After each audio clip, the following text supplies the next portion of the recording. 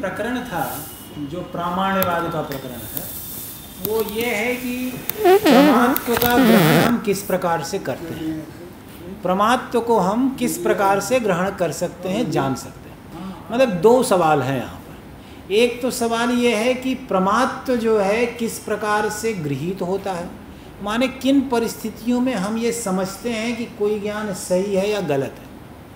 क्या आधार है जिससे हमें जान सके कि ज्ञान सही है या गलत दूसरा सवाल यह है कि ज्ञान का प्रमात्व किस वजह से किस वजह से ज्ञान का प्रमात्व तो अभी जो गुरु जी ने जहाँ पर छोड़ा है वो कल उसकी चर्चा करेंगे कि ज्ञान का प्रमात्व किस वजह से आता है? अभी तक जो चर्चा हुई ये हुई है कि ज्ञान का प्रमात्व हम कैसे समझते हैं? तो यहाँ पर चार मत हैं मुख्य रूप से। तीन तो मीमांसक के मत हैं और एक नैयायिक का। मीमांसकों का कहना है कि ज्ञान का जो प्रमात्व है वो स्वतः गृहित सही बात तो अगर देखा जाए तो ज्ञान का प्रमात्व केवल प्रभाकर के मत में ही स्वतः गृहित माने उसके द्वारा जिस ज्ञान का प्रामाण्य है प्रमात्व है, उसी ज्ञान के द्वारा उस ज्ञान का प्रमात्व भी पता चल जाए, ये प्रभाकर का मत है।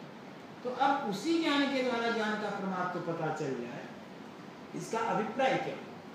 प्रमात्व है ज्ञान और उसी ज्ञान के द्वारा ज्ञान का प्रमात्व किन परिस्थितियों में पता चलेगा? अगर ज्ञान स्ववित्ति वेद्य है, जिसको कि बोलते हैं ज्ञान अगर स्वयं प्रकाश है। तो प्रभाकर ये कहते हैं ज्ञान स्वयं प्रकाश इसीलिए उनके उनका मत है त्रिपुटी प्रत्यक्ष।